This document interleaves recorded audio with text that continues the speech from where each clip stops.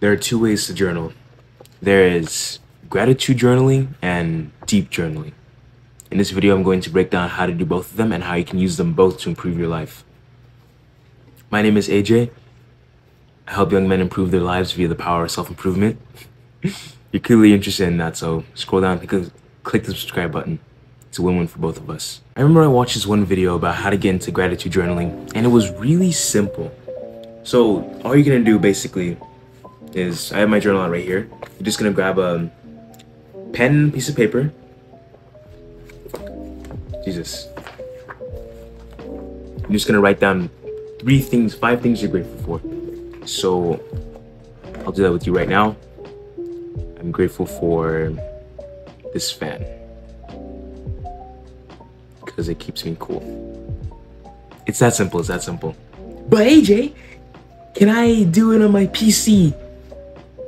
You can. Personally, I'd rather you not use technology so much. Because, like, come on now, bro. You're so addicted and hooked to technology. Even your self-improvement habits must all be correlated to it. But if, but what I found is that when you use technology to journal, use your PC or your laptop and you're just like your fingers type so fast you don't even um, what's the word fuck i don't know what the word but you don't even like realize what you've just typed out. Because your fingers are typing so fast you don't get the the time to think. Wait hang on. Process. You don't get the time to process what you just written down. So it's like you're just typing so fast as fuck and then you've just gotten down a whole page and you're like well that didn't really help processing anything. So what I found is when you write with your pen, pen on a piece of paper, you are much, much, much more likely to process the thing that you just wrote down. So I'm grateful for this band because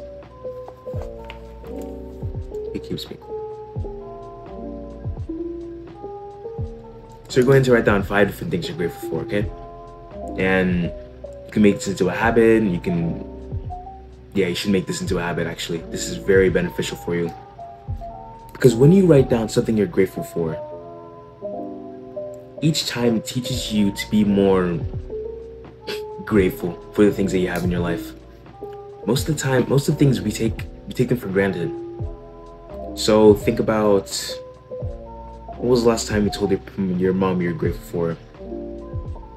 Hmm? I'm grateful for the food I got to eat this morning.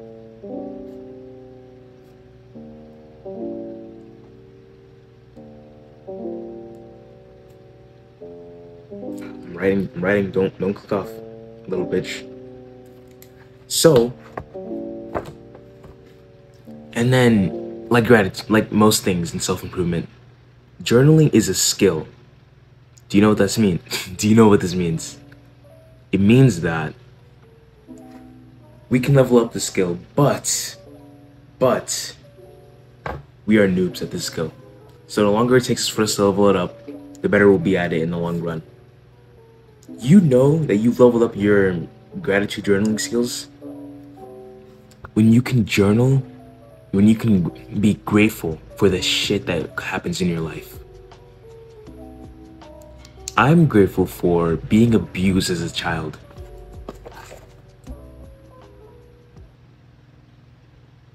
Training your dopamine. Don't click off, little pussy. Should be doing this with me. but my handwriting shit, I don't care. I'm grateful for being abused as a child. What this does is it helps you see the light that's in the dark. It helps you to realize, like, wait, hang on. Maybe this wasn't all shit. Because the people who have been abused, the people who went through the shit, like what I wrote down, like, I'm grateful for being abused as a child because it taught me that even whilst I was at my lowest point, I can get up here. But the people who've never gone through any struggle in their life, the people who've never gone through any pain, they're comfortable sitting right here. Whilst I was down here. When I realized, and I'm realizing that there's an up here. But they're still here, but they don't have the desire to improve. Gratitude journaling really, really, really helps you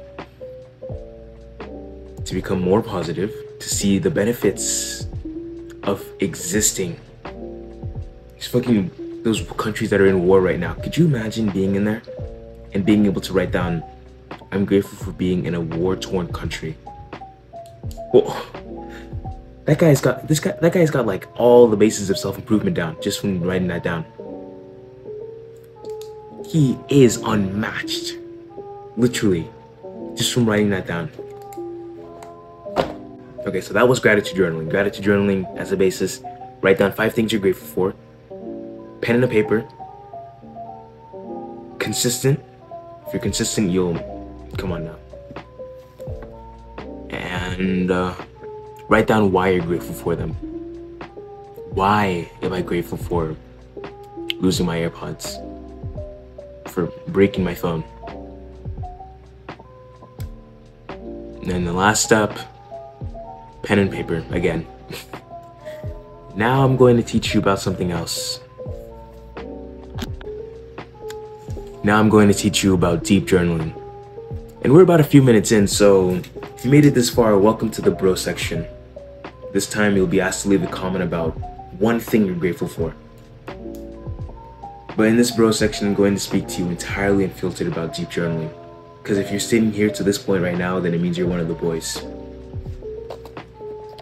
This journal right here has page after page after page after page after page after page after page after page of me just writing down my thoughts. So how deep journaling works is that you'll pick a concept in your brain. And here's the thing. The average person doesn't really have the much introspective thoughts to write down because they scroll on TikTok, they refuse to allow themselves to be unstimulated. You know what this means? It means that they don't allow their brains to think. So when you're sitting in a room by yourself with no distractions at all, like this room right here, the only distraction there is is this laptop and this phone, but no, neither of them are on. Your thoughts go in your mind, and the first thought that comes to mind usually is the high priority task or a high priority thought. So maybe I was thinking about I should get a haircut. And then I go to sit down and I'm not playing any music, I'm not playing any noise, nothing at all. And then just like that, whew, I should really should get a haircut. And it's the only thing that's plaguing my mind. I'm thinking, I should get a haircut, I should get a haircut.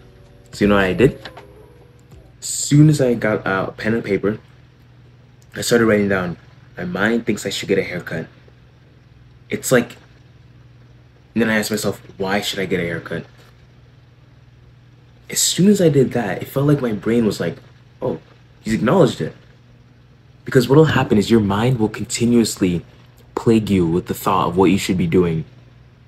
And then until you've acknowledged that thought consciously, consciously acknowledged it, it won't stop plaguing your mind. So once I wrote down the pages after pages after pages of why I should, what is it? Why I should get my haircut. It's like all of a sudden it just got removed. It's like it stopped being in the priority of my mind. So how can we get you into deep journaling?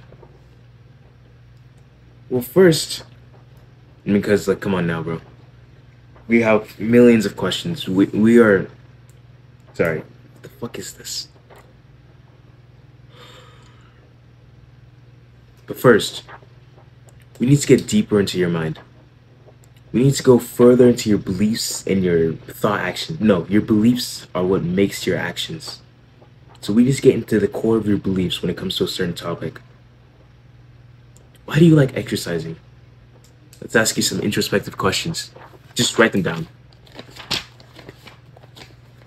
Write some write down some introspective questions with me, brother. Excuse me.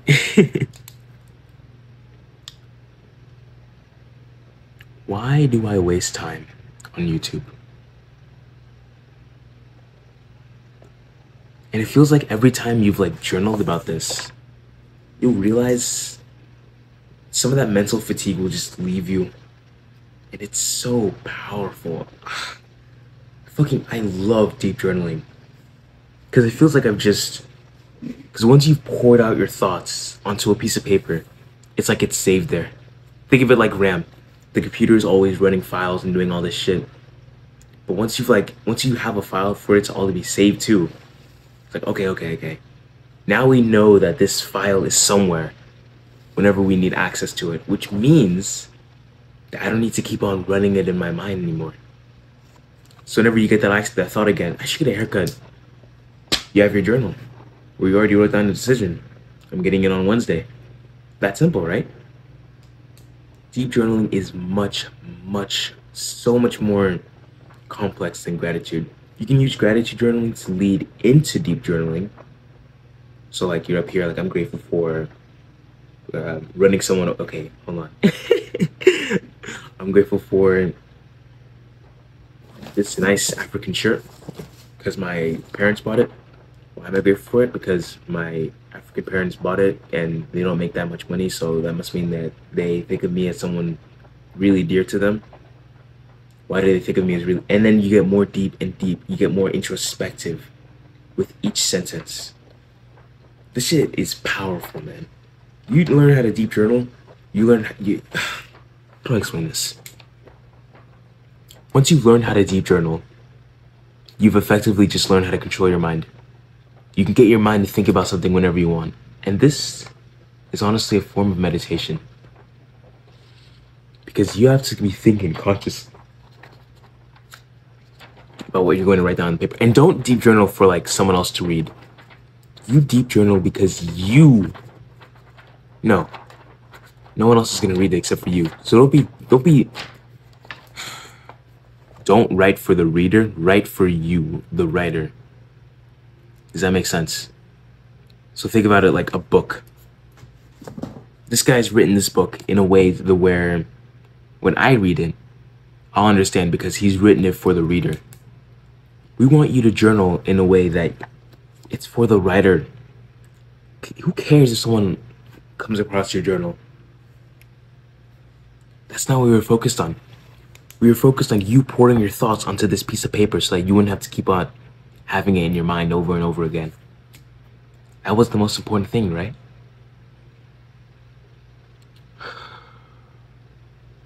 When you overstimulate, when you stick on porn, when you watch play video games, when you watch movies, your mind's getting worse by the moment. Why do you think this is? Because, well, those things are shallow. When you play, when you do all those bad habits I just mentioned, your mind doesn't want to journal about, well, you know, your mind is being distracted.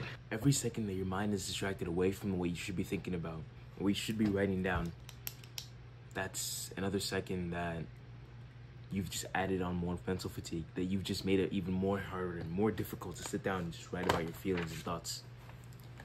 It's gay to write down about my feelings. Who cares? We don't care about the external opinions of the world. what is the objective truth? That doing this activity, doing this task, this habit, will make you much more healthier. Let me see.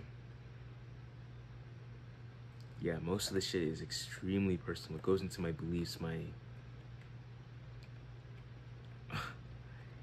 and the best part about deep journaling is that when you go when you read back over what you journaled about like let's say a week or two weeks ago you'll find how much things have changed.